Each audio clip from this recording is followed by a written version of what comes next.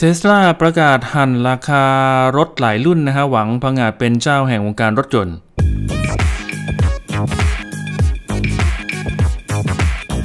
บริษัทผู้ผลิตรถยนต์ไฟฟ้ารายใหญ่ของโลก เริ่มแผนการลดราคารถรุ่นต่าง ๆ ภายในปีนี้ สร้างแรงกดดันแก่ผู้ผลิตรถยนต์ไฟฟ้ารายอื่น ๆ นะฮะ รวมถึงบริษัทยักษ์ใหญ่ผู้ผลิตรถยนต์ทั่วไปอย่าง Ford และ GM ด้วยนะครับ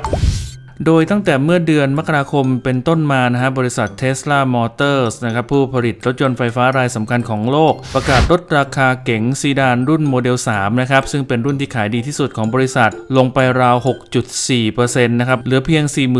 43,990 เหรียญดอลลาร์สหรัฐในสหรัฐอเมริกานะครับ หรือราวๆ1ล้าน5แสน40,000 บาทไทยนะฮะ และนอกจากนี้นะครับก็ยังเริ่มลดราคารุ่น basic นะครับอย่างโมเดล Y รุ่น SUV ให้เหลือเพียง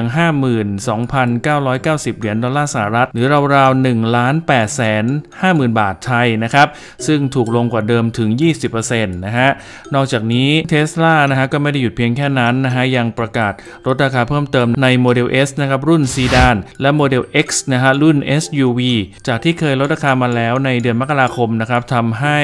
ราคาของโมเดล S ตอนนี้อยู่ที่ 89,990 เหรียญดอลลาร์สหรัฐ หรือราวๆ3ล้าน1 5 0 0 0 0 บาทนะครับ ซึ่งถูกลงกว่าเดิมถึง 14%ในขณะที่โมเดล X นะครับ เหลือเพียง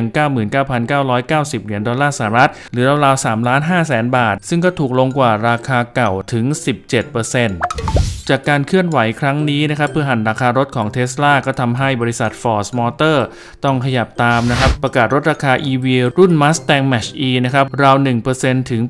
8.8%นะครับการลดราคาอย่างดูเดือดของ t ท s l a นะครับก็มีเป้าหมายเพื่อตัดราคารถคู่แข่ง แล้วก็แย่งส่วนแบ่งทางการตลาด เพื่อให้ลงไปแข่งขันในตลาดรถซีดานและรถ SUV ได้นั้นนะครับก็สอแววว่า t ท s l a ต้องการเป็นเจ้าตลาดของวงการอุตสาหกรรมรถยนต์โดยรวม ไม่ใช่เพียงแต่เป็นเจ้าพ่อของวงการการถยนต์ไฟฟ้าเท่านั้นนะครับ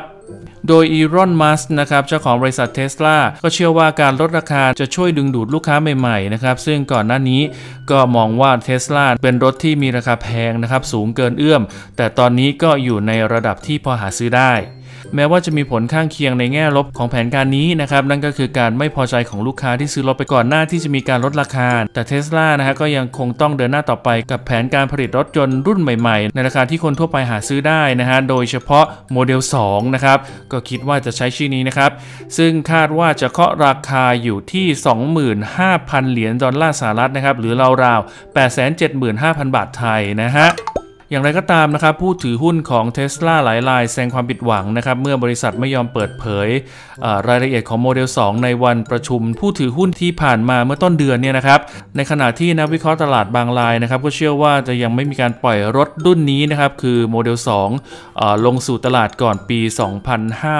2568 นะครับโดยมีความเห็นว่ารถโมเดล 2 รุ่นราคาประหยัดนี้นะครับถือเป็นหัวใจสำคัญที่จะเอาชนะตลาดมวลชนของเท s l a ด้วยราคาที่ต่ำกว่า 30,000 เหรียญดอลลาร์สหรัฐหรือราคาไม่ถึง 1 ล้านบาทนะครับ ซึ่งรถโมเดล2นะครับก็อาจจะเป็นห่านไข่ทองคำของบริษัทเทสลาในอนาคตก็เป็นไปได้นะครับ ขอขอบคุณข้อมูลดีๆจาก Dairy News นะครับและขอขอบคุณเพื่อนๆที่ติดตาม ฝากกดไลค์กดแชร์กด Subscribe เพื่อเป็นกำลังใจกันด้วยนะครับ แล้วเจอกันใหม่ในคลิปหน้าสำหรับนี้ไปแล้วครับ สวัสดีครับ ติดตามม้องข่าวพีนิวได้ทาง Facebook Twitter และ IG หรือสแกน QR Code ที่ขึ้นอยู่หน้าจอได้เลยนะครับำหรับคุณผู้ชมที่รับชมห้องข่าวพีนิวทางมือถืออย่าลืมกด Subscribe ตรงนี้ด้วยนะคะ